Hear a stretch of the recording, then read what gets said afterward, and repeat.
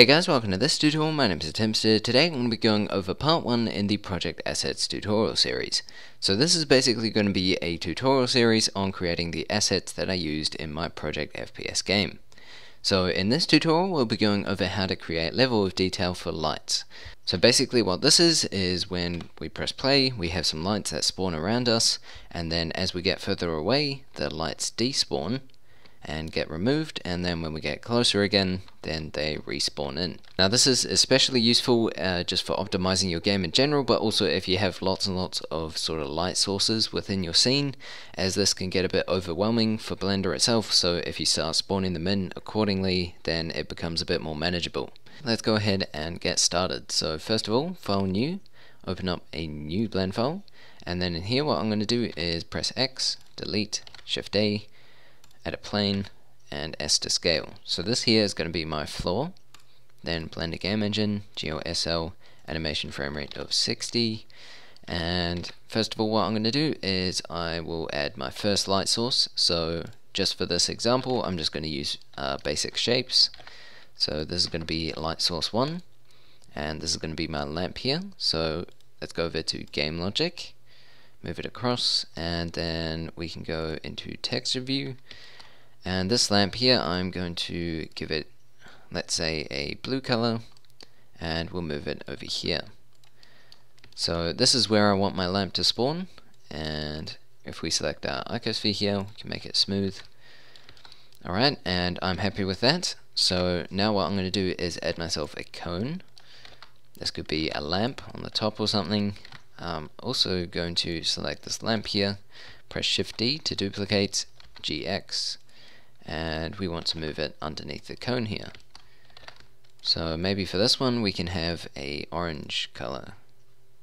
Alright, something like that. Then I'm going to add one more thing, so Shift A, and let's just add ourselves in maybe a monkey, move it over here. Alright, and on this monkey here, I'm going to press Shift S, cursor to selected, Shift A, add ourselves a lamp, and this color can be maybe green. Alright, so let's make it yellow green, like so. And so this here, let's say just put it on the top. So once you've got your whole scene set up and you've got all your lamps exactly where you want them to be, select the first one, Shift S, cursor to selected, Shift A, add ourselves an empty, and this here we're going to call Ico lamp as an icosphere lamp. And then what I'm going to do is select the next one, Shift S, cursor to selected, Shift A, add another one. So this empty can be called, uh, let's just say cone lamp, and then let's select the last one here, Shift S, cursor to selected, Shift A, and this here can be monkey lamp.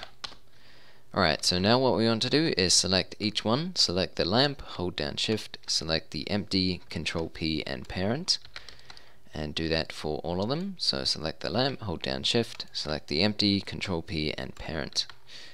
Select the last lamp here, hold down shift, select the empty, control P and parent. Alright, so now we have those three set up, the lamps we're going to spawn in, but now what we need is a spawn point for these lamps to spawn in.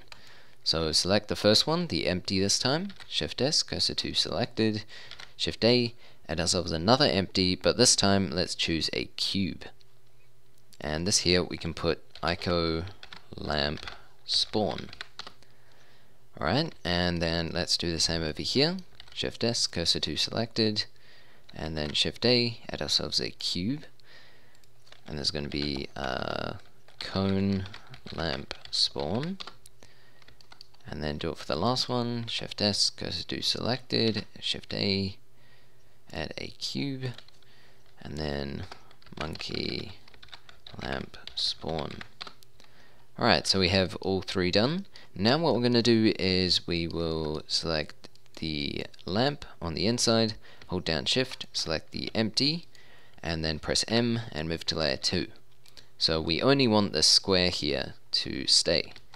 So basically select everything on the inside, and then M and move to layer 2.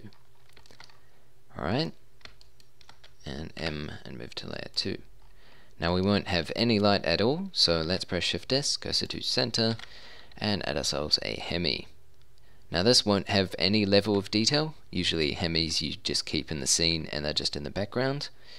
So let's just give it a bluish color like this, fairly low energy. Alright, so now we have all of that set up. Now what we want to do is select our empty here and add a near.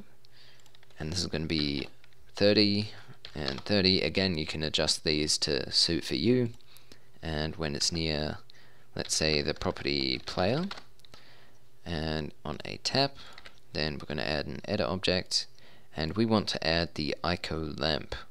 So ICO lamp. Alright, so that one done. Move on to the next one, add a near player, and 30 and 30 again. Then on a tap, and this time we want the cone lamp. This one here, alright, we got those set in. Then do it for the last one here. So let's go over here, add a near 30 and 30, and then player.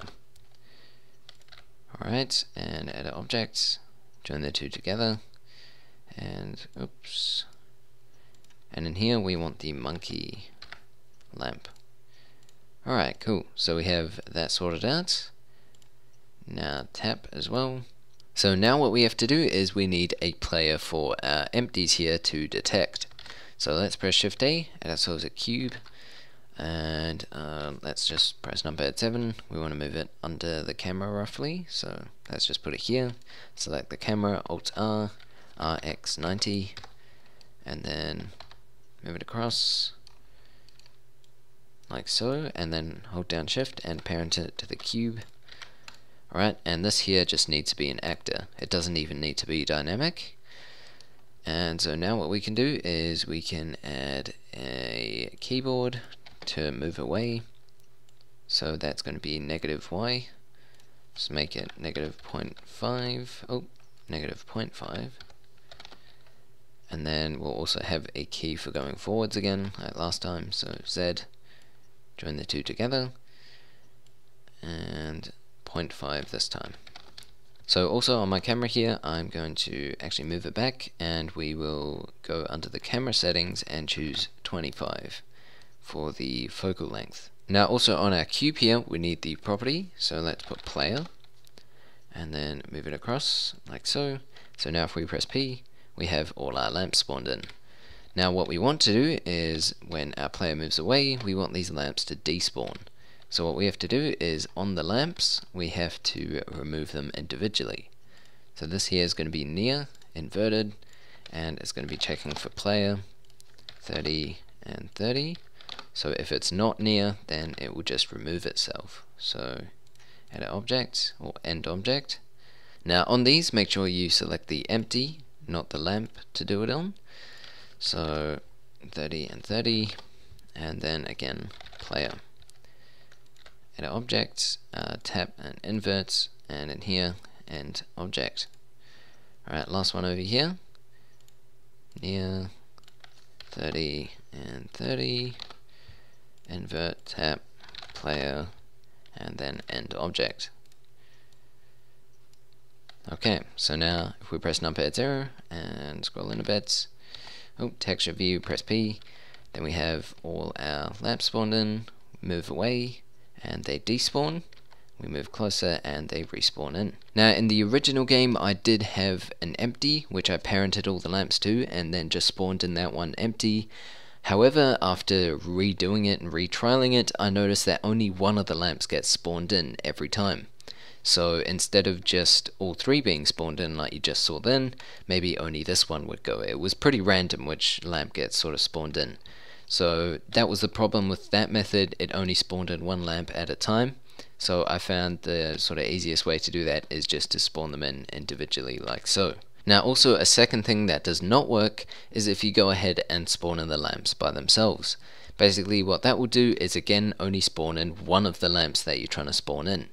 Uh, which doesn't always work very well. So for some weird reason, if you go ahead and parent them to an empty, then it just recognizes it as an object and it's happy to just add it in. Cool, so there you go guys, that's the end of this tutorial. Hopefully you guys enjoyed it. If you did, feel free to leave a like, comment or share down below.